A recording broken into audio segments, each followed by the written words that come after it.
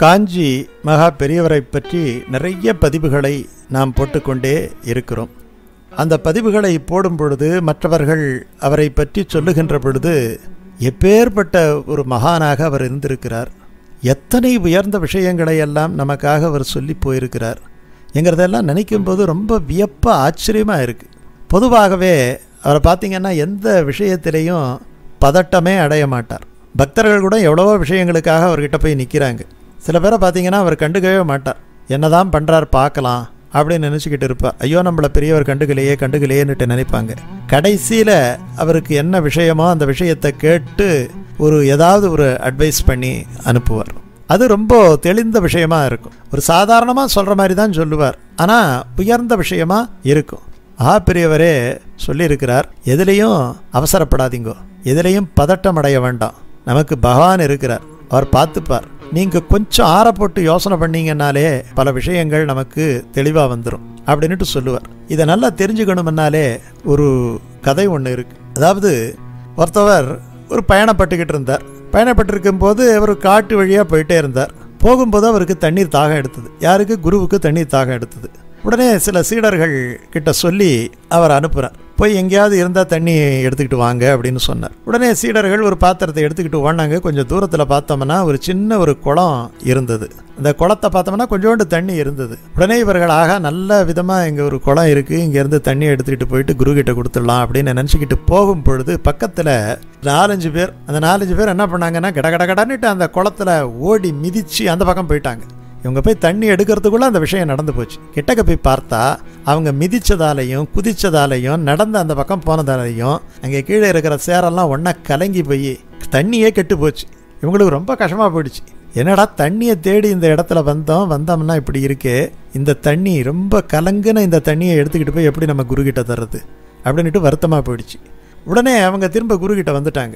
வந்த உடனே பார்த்தார் என்ன தண்ணி எடுத்துகிட்டு வரலையா? அப்படின்னு கேட்டார். ஆமாம் குருவே பக்கத்தில் போனோம் ஒரு குளம் இருந்தது போய் முள்ளலான்ட்டு இருந்தோம். அதுக்குள்ளே ஒரு நாலஞ்சு பேர் போய் உட்காந்து அந்த குளத்தை நாஸ்டி பண்ணிட்டு போயிட்டாங்க. அந்த குளம் முழுக்க வீணாக போயிடுச்சு. அந்த தண்ணியே இப்படி கலங்கலாக சேரும் சகதியமாக இருக்குது அந்த தண்ணி குடிப்பதற்கே லாய்க்கு இல்லாத தண்ணி. அந்த தண்ணி எப்படி எடுத்துகிட்டு வரதுன்னு வந்துட்டோம் அப்படின்னார். இப்போ குரு பொறுமையாக பார்த்தார். சரி ஒரு அரை மணி நேரம் அப்படியே இருங்க. அரை மணி நேரம் கழித்து மறுபடி போங்க அப்படின்னு சொன்னார். உடனே நேராக போனாங்க. நேராக போன உடனே பார்க்கும் பொழுது முன்னாடி மாதிரி இல்லை இப்போ தண்ணி அப்படியே கலங்கலெல்லாம் அடியில் போய் தங்கி மேலே நல்ல தண்ணியாக தெரிஞ்சது.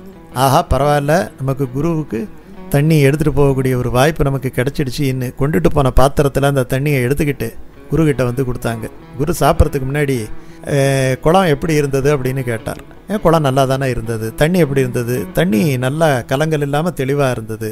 அவர் ஒரு கேள்வி கேட்டார் அப்போ குரு. சரி முன்னாடி போகும்போது வந்து கலங்கலாக இருக்குதுன்னு சொன்னீங்க.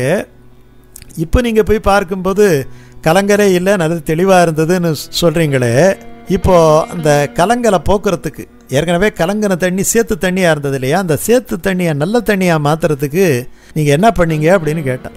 உடனே இந்த சீடர்களுக்கெல்லாம் என்ன சொல்கிறதுன்னுட்டே தெரியல. நாங்கள் ஒன்றுமே பண்ணல குருவே.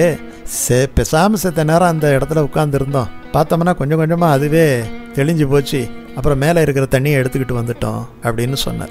அடுத்த கேள்வி கேட்டார். இதுலேருந்து உங்களுக்கு ஏதாவது ஒரு விஷயம் ஏதாவது தெரியுதா? அப்படின்னு கேட்டார். பொதுவாகவே நமக்கு இயற்கை பல விஷயங்களை சொல்லி கொடுத்து கொண்டே இருக்கிறது அப்படிங்கிறதையும் நம்ம மறந்துடக்கூடாது. ஒரு ஒரு விஷயத்திலையும் பார்த்தீங்கன்னா நமக்கு ஒரு டீச்சிங் இருந்துக்கிட்டே இருக்குது நம்ம நிறையா பணத்தை கட்டி பெரிய பெரிய அமெரிக்காவில் ஆஸ்திரேலியா போய் பெரிய யூனிவர்சிட்டியில் படிக்கிறது தான் படிப்புன்னு நினச்சிக்க கூடாது இப்படிப்பட்ட படிப்பு இயற்கை நமக்கு சொல்லித் தருகின்ற படிப்பையும் நம்ம எடுத்துக்கொள்ளணும். இதுவும் பெரியவர் சொல்கிறது தான் நிறைய படிங்க வேதத்தை படிங்க புஸ்தகத்தை படிங்க அப்சர்வ் பண்ணுங்க அவர். அப்போ அங்கே போய் உட்கார்ந்தாலே நமக்கு பலருடைய பிரச்சனைகள் அங்கே அவர் சொல்லுகின்ற அந்த வார்த்தைகளை பார்க்கும்போதே நமக்கு ஆயிரம் புஸ்தகம் படித்த மாதிரி நமக்கு அறிவு நமக்குள்ளே வந்துடும் இப்போ அந்த கேட்டார் இல்லையா என்ன பண்ணீங்க? ஒன்றும் பண்ணலை. ஒன்றும் பண்ணாத போது எப்படி தண்ணீர் தெளிந்தது? பிசாமல் இருந்தால் தண்ணி தெளிஞ்சு போச்சு. இதை தான் மனதுக்கும் சொல்லுவார். மனது பல பிரச்சனைகளை சிக்கி தவிக்கின்ற பொழுது குழப்பமாக இருக்கும். என்ன முடிவெடுக்கிறதுன்னே தெரியாது. நம்ம பெசாமல் இருந்தோம். முடிவெடுக்கிறத தள்ளி போட்டுட்டு பெசாமல் இருந்தோன்னு வச்சுக்கிட்டா எப்படி தண்ணீரானது அந்த கலங்களெல்லாம் அடங்கி போய் நல்ல தண்ணீர் இருக்கோ அதே மாதிரி மனம் அடங்கி அந்த தெளிவான ஒரு எண்ணங்கள் சிந்தனைகள் எல்லாம் பிறக்கும். இந்த சிந்தனைகள் நமக்கு பிறக்கணுங்கிறதுக்காகவே கோயிலுக்கு போகிறோம் கோயிலில் போய் செத்த நேரம் உட்கார்றோம் மகான்களை பார்க்குறோம். இதை பெரியவர் பல நேரங்களிலே சொல்லியிருக்கிறார். அங்கே போனவனே நமக்கு என்ன கிடைக்குது? நம்முடைய மனதானது எப்படி அங்கே தானே அடங்கியதோ அதை போல அந்த மகானுடைய திரு விழிகளை பார்க்கின்ற பொழுது நமக்கு வேற ஒன்றுமே வேண்டாம். மடத்தில் போகும்பொழுது எத்தனையோ பிரச்சனையோடு போகிறோம் பல பேர்கிட்ட சுவாமி பேசுறது கூட கிடையாது. சில பேர்கிட்ட பேசுவார் சில பேர்கிட்ட பேச மாட்டார். சில பேரை பார்ப்பார் சில பேரை பார்க்க மாட்டார். அதெல்லாம் பெரிய பிரச்சனை கிடையாது. ஆனால் அங்கே ஆயிரம் பேர் போகிறாங்க ஆயிரம் பிரச்சனையோட போகிறாங்கன்னா திரும்பி வரும்போது அவர் பார்த்தாலும் என்ன ஒரு மகான் பார்க்குறாரா பார்க்க இல்லையாங்கிறதெல்லாம் நமக்கு பெரிய பிரச்சனையே கிடையாது. அந்த இடத்துல அவர் இருக்கிற இடத்துல காலடிப்பட்டு திரும்பி வந்தாலே நம்முடைய மனம் தெளிவாகிவிடும் நம்முடைய பிரச்சனைகளெல்லாம் நீங்கிவிடும். நமக்கு நல்ல முடிவை அவர் வாய் திறந்து சொல்லணும்னு கிடையாது. நம்முடைய மனதிலே இருந்தே அவர் சொல்லிவிடுவார் இதை செய்யலாம் என்று. அது பார்த்தீங்கன்னா மறைமுகமாக அவரே சொல்கிற மாதிரி. நமக்கு அதில் கிடைக்கக்கூடிய ஆன்சர் இருக்குது இல்லையா? அது நமக்கு அற்புதமான முறையில் நம்முடைய பிரச்சனைகளெல்லாம் அது வந்து சால்வ் பண்ணி நமக்கு நல்ல ஒரு வாழ்க்கையை தரும்.